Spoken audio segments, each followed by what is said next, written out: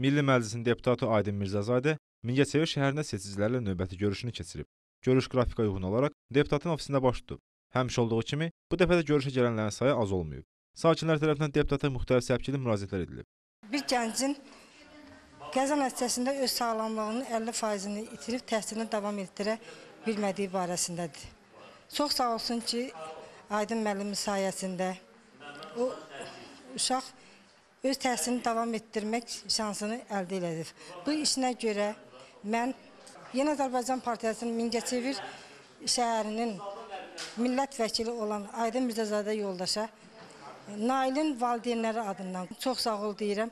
Ona bu şərəfli işində daha da böyük nailiyyətlər arzu eləyirəm. Hörmətli Mingəçevirin Milli Məclisinin deputatı Aydın Mirzəzadə Böyükşoğlu'nun göstərişi ilə göstərişi ilə həkim tapşırığı ekspert komissiyası ilə Vitekdən keçib pensiyaya çıxmışam.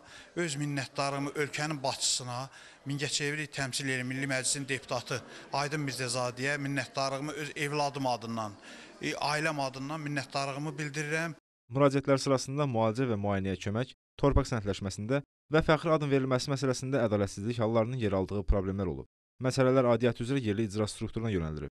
Bütün bunlardan məlum olub ki, Aydın Mirzəzadə bütün sahədə mərkəzi və yerli icra hakimiyyət orqanları ilə sıx əməkdaşlıq edir və bunun sayəsində Mingəçevirdə bir çox məsələlər öz müsbət həllini tapıb.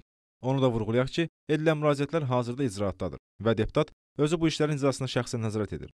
Məqsədim gəl ə, eyni zamanda seçicilər qəbul etməkdir. Mənim gelişim barəsində yerli televiziya ilə 2 dəfə dalbadal elan verildi və hal-hazırda qəbul gedir. Sizə qədər bir 10 nəfər vətəndaş qəbul edilib. Müxtəlif səviyyədə olan məsələlərdir. Ə, sağlamlıqları, təhsil ə, və yaxud da əmlaklar ilə bağlı məsələlər Onların bir qismi yerindəcəyəz zəng edərək məsələ aydınlaşdırılaraq həll edildi.